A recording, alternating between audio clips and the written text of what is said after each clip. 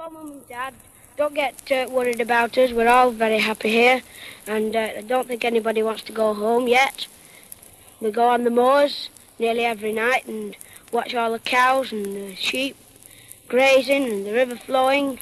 We're quite near it now, and uh, we go playing football on the football pitch and uh, watch the colliery. Last week, uh, the boys and girls had a match of netball, and uh, there was 14 girls and uh, two, three boys, but the girls won us